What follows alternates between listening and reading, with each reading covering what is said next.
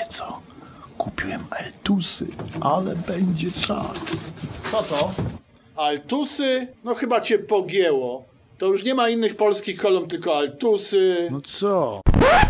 W zjednoczeniu Unitra monopolistą, jeśli chodzi o produkcję głośników, był Tonsil, czyli zakłady wytwórcze głośników we wrześni koło Poznania. Tonsil istniał już od roku 1945 i na początku produkował głośniki radiowęzłowe oraz mikrofony i transformatory głośnikowe. Nas interesuje okres działalności firmy od mniej więcej połowy lat 70. XX wieku, kiedy to Tonsil zakupił licencję na produkcję nowoczesnych jak na owe czasy głośników od firmy Pioneer, znanej jako Pionier. Również w tamtym okresie zbudowano dużą komorę bezechową, umożliwiającą przeprowadzanie miarodajnych pomiarów zestawów głośnikowych. Przez cały okres przynależności do zjednoczenia Unitra, Tonsil produkował bardzo wiele modeli zestawów głośnikowych, zarówno klasy popularnej, jak i klasy hi-fi. Niektóre z nich były bardzo ciekawymi konstrukcjami. Weźmy na przykład kolumny ZG60C, jak na ówczesne czasy rewelacja, albo mniej znane przynajmniej dla mnie Altusy 120. Jeśli już mowa o Altusach, to pewnie wielu z Was na pewno kojarzy markę Tonsil właśnie z tymi kolumnami, ale były to już inne modele niż Altus 120. Były to produkowane głównie z myślą o eksporcie trzy typy zestawów znane jako Altus 75, 110 i 140. Inne bardziej znane modele produkowane we wrześni w okresie działalności Unitry to ZG10 będące kompletem z radiem amator stereo, ZG15C, ZG25C, ZG30C, ZG40 z charakterystyczną membraną bierną, wspomniana już seria Altus, seria Alton i Milton oraz ZG60C i ZG80. Seria Alton była podobna do serii Altus i również wykorzystywała obudowy Bass Reflex oraz tubowe głośniki wysokotonowe. Natomiast z Miltonów wyrzucono głośniki tubowe, zastępując je kopułkami wysokotonowymi, co przyniosło dużą ulgę miłośnikom lepszego brzmienia. Wadą obu serii były potencjometry w torze głośników średniotonowego i wysokotonowego. Szybko się psuły i były z nimi kłopoty. Ogólnie obie serie zestawów były bardzo popularne na przełomie lat 80. i 90., ale ich brzmienie i jakość określiłbym jako średnią. Oczywiście po likwidacji zjednoczenia Unitra Tonsil produkował jeszcze bardzo dużo innych modeli zestawów głośnikowych. Niektóre z nich były bardzo ciekawe oraz zbierały i nadal zbierają dobre opinie od użytkowników. O zakładach Tonsil będziemy mieli jeszcze okazję poopowiadać w osobnym odcinku. Można tylko się cieszyć z jego obecnej dobrej kondycji na rynku sprzętu audio w naszym kraju. Tradycyjnie już wybraliśmy pięć modeli kolumn produkowanych przez Tonsil w czasach przynależności do zjednoczenia Unitra i przyjrzymy się im nieco bliżej. Altusy to absolutna klasyka wśród produktów Tonsilu. Wiele osób kojarzy Tonsil tylko z tymi kolumnami. Ale sprecyzujmy, bo zestawów o takiej nazwie było sporo. Pierwszym Altusem był prawdopodobnie zestaw 120, który był nieco uproszczoną i przerobioną wersją zestawów ZG80 C115. Były jeszcze modele Altus 65 i 100 i były to prawdopodobnie eksportowe wersje zestawów Tonsilu o innych nazwach. Natomiast Altusy 150, 200 i 300 produkowane były już po likwidacji Unitry i są to zupełnie inne kolumny. Nas interesują trzy modele Altusów, czyli 75, 110 i 140, które były bardzo popularne w okresie dawnej świetności Tonsilu. Wszystkie trzy modele Altusów mają obudowy typu Bass Reflex i są konstrukcjami trójdrożnymi. Altus 75 miał moc znamionową 65 W, model 110 75 W, a model 140 100 W.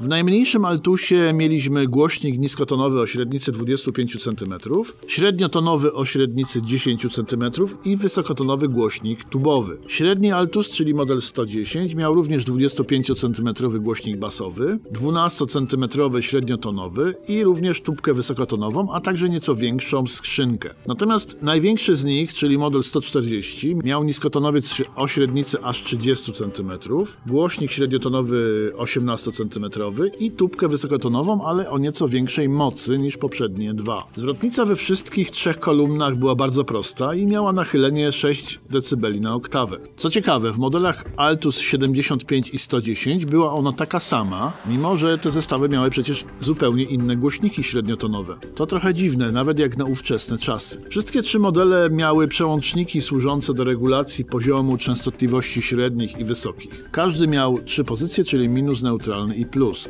Przełączały one rezystory w zwrotnicy. Wygląd altusów z tej serii był bardzo przyzwoity i nawet dzisiaj może się podobać. Srebrne pierścienie wokół głośników, otworów i przełączników robią bardzo fajny, kultowy już klimat. Przejdźmy do brzmienia altusów. Wiem, że jest wielu miłośników tych kolumn i nic dziwnego, były one bardzo popularne kiedyś i o dziwo są bardzo popularne nawet dziś. Niestety muszę powiedzieć, że ich brzmienie jest fatalne. Nie zrozumcie mnie źle, jest ono lepsze niż na przykład prostych zestawów do komputera, ale po tak dużych zestawach trójdrożnych można by się spodziewać przynajmniej przyzwoitego brzmienia. Ale niestety altusy nie dają nam tego komfortu. Największy wpływ na złe brzmienie altusów ma wysokotonowy głośnik tubowy. Podbarwia on bardzo mocno swój niski zakres częstotliwości, czyli około 7 do 9 tysięcy Hz, powodując, że praktycznie już po kilku minutach słuchania ma się dość. Drugą wadą jest jakość basu. Po tak dużych skrzyniach można by się spodziewać potęgi i niskiego zejścia. Jednak tutaj nic takiego nie mamy.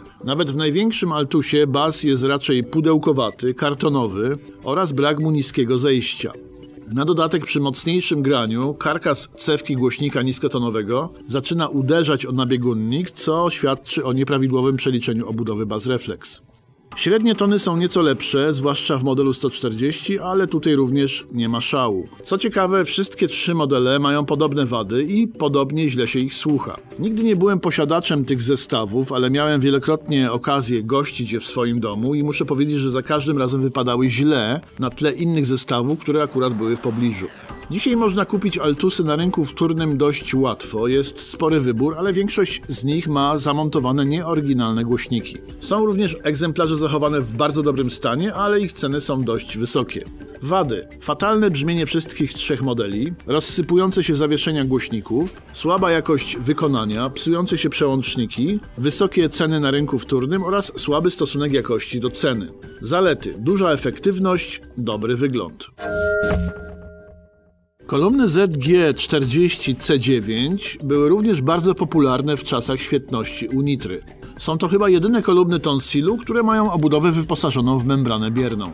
ZG40 to dość duże zestawy podłogowe, w których oprócz membrany biernej znajdziemy 25 cm głośnik niskotonowy, 12 cm średniotonowy i kopułkę wysokotonową. Jest to więc zestaw trójdrożny. Zwrotnica jest nieco dziwna, bo dla toru niskotonowego i średniotonowego ma nachylenie 12 dB na oktawę, a dla toru wysokotonowego tylko 6. Wygląd kolumn jest dość ładny, ale już nieco archaiczny, jednak w tamtych czasach mogły się podobać. Brzmienie zestawów jest dosyć dobre, ale nazwałbym je ponurym. Zejście basu jest nawet dość niskie, ale brak w nim szybkości i uderzenia. Tony średnie są znośne, ale tonom wysokim brakuje trochę blasku, są zbyt stłumione. Powoduje to, że ogólnie zestawy brzmią nawet poprawnie, ale mamy wrażenie, że czegoś jednak brakuje. Zestawy były produkowane w wersjach 4 i 8 omowych. Ponieważ głośniki i membrana bierna nie mają piankowych zawieszeń, to można do dzisiaj spotkać zestawy z oryginalnymi głośnikami z epoki. Ceny na rynku wtórnym takich oryginałów kształtują się na poziomie około 400-500 zł za parę. Wady. Przeciętne brzmienie, archaiczny wygląd, dość wysokie ceny na rynku wtórnym. Zalety. Dobra jakość wykonania, trwałość, dostępność na rynku wtórnym. Kolumny ZGC 50-8-44 są zestawami trójdrożnymi zbudowanymi w oparciu o obudowę zamkniętą. Są to nieco mniejsze zestawy w porównaniu z Altusami czy opisywanymi wcześniej ZG40. Jako głośnik niskotonowy pracuje tutaj znakomity GDN 20 przez 40, jako średniotonowy GDM 10 przez 60, ten sam co w Altusie 75, jako wysokotonowy kopułka GDWK 9 przez 80. Wszystkie trzy głośniki umieszczone są jeden nad drugim. Jeszcze wyżej mamy przełącznik służący do regulacji poziomu tonów wysokich. Zwrotnica jest tutaj bardzo prosta, podobnie jak w Altusach. Ma ona nachylenie 6 dB na oktawę dla wszystkich trzech torów. Wygląd zestawów jest raczej nieciekawy, zarówno z maskownicą, jak i bez niej. Nie wiem, czy istniały inne kolory wykończenia, ten jasny nie przypadł mi do gustu. Natomiast brzmienie zestawów jest bardzo przyjemne, zwłaszcza jakość niskich tonów może pozytywnie zaskoczyć. Basy nie schodzą co prawda bardzo nisko, ale ich barwa barwa jest miła, nic nie buczy, nawet kiedy kolumnę umieścimy w rogu pomieszczenia. Jakość pozostałych zakresów pasma nie jest już tak wybitna, ale przyjemnie się tego słucha. W porównaniu do Altusów słychać dużą poprawę. Ogólnie udało się uzyskać w tych zestawach dobre zrównoważenie tonalne. Na rynku wtórnym można znaleźć sporo tych zestawów, trzeba jednak uważać, aby głośniki w nich zamontowane były oryginalne, a zwłaszcza niskotonowe. Ceny tych kolumn kształtują się na poziomie około 200-300 zł za parę. Wady, nieciekawy wygląd, rozsypujące się zawieszenia głośników, niska jakość wykonania. Zalety, dobre brzmienie i dość niskie ceny na rynku wtórnym.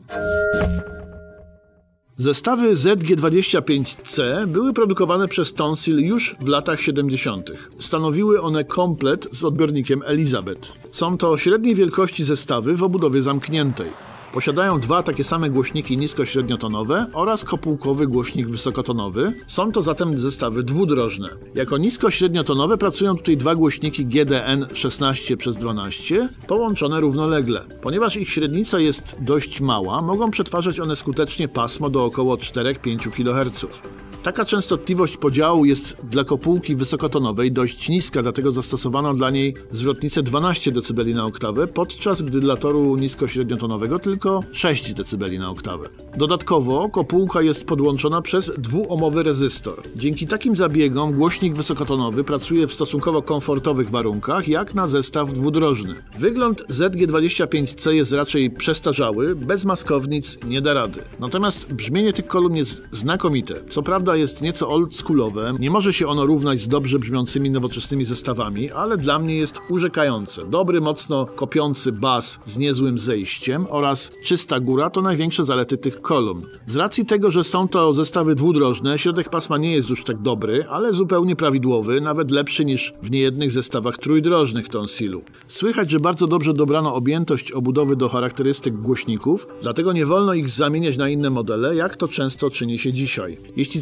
zawieszenia się rozleciały, trzeba je wymienić i zostawić oryginalne GDN 16 przez 12 8-omowe. Także kopułki nie należy wymieniać na inną i zostawić GDWK 9 przez 44 ohmy. Na rynku wtórnym można nadal kupić te zestawy, mogą one, mają one regenerowane głośniki, żaden nie dotrzymał do dzisiaj, ale trzeba zwrócić uwagę na ich oryginalność, w przeciwnym razie zestawy nie będą dobrze brzmiały. Ceny kształtują się na poziomie około 250 zł za parę. Jeśli nie zależy Wam na dobrym wyglądzie, ale cenicie sobie solidne brzmienie, polecam.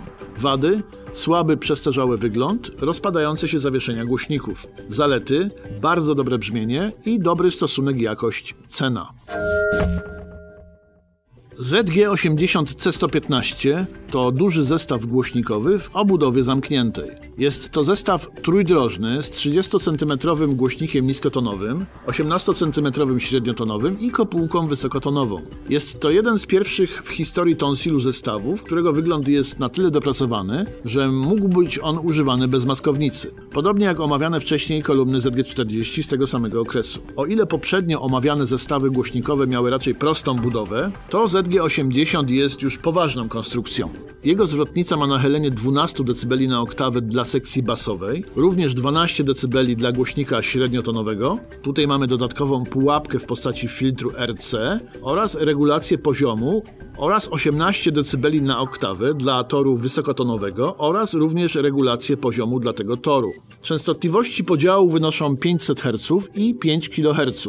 Wygląd zestawu jest bardzo porządny, wygląda on solidnie i rzeczywiście taki jest. Pojemność skrzyni to 61 litrów, a masa jednej kolumny to 28 kg.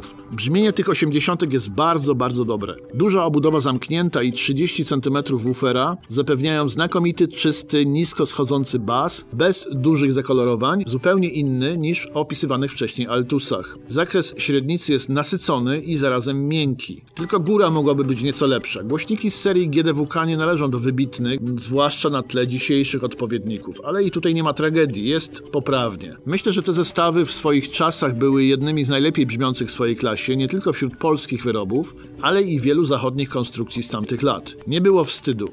Na rynku wtórnym nie ma zbyt wielu propozycji sprzedaży tych kolumn. Trudno mi zatem powiedzieć, ile kosztują, a jeśli je spotkacie w dobrym, oryginalnym stanie, warto za nie dać nawet 500 do 1000 zł zależnie od ich stanu.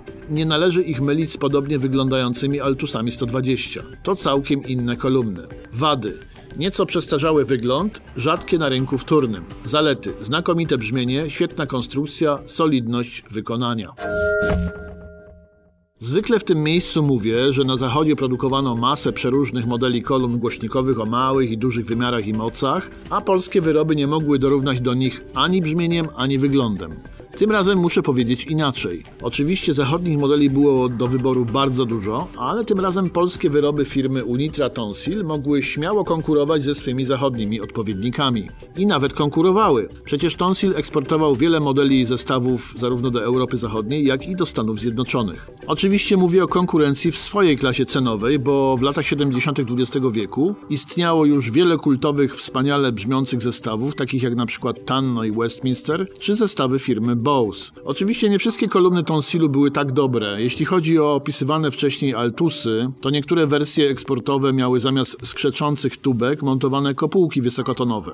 Widocznie były skargi. Tak czy inaczej, tym razem trzeba pochwalić Tonsil za znakomite wyroby, produkowane w tych jakże przecież trudnych czasach. Takie zestawy jak opisywane ZG80C115 czy ZG60C201 to bardzo dobre głośniki, nawet jak na dzisiejsze czasy, a co dopiero w latach 70. Warto zatem pamiętać, że zakłady wytwórcze głośników Unitra Tonsil produkowały nie tylko altusy, ale wiele innych dobrych zestawów głośnikowych, które biły je na głowę zarówno brzmieniem, jak i solidnością wykonania. Jeśli spodobał Wam się ten odcinek naszego wideoblogu, kliknijcie na thumbs up, czyli lubię to, oraz zapraszamy do polubienia naszego profilu na Facebooku.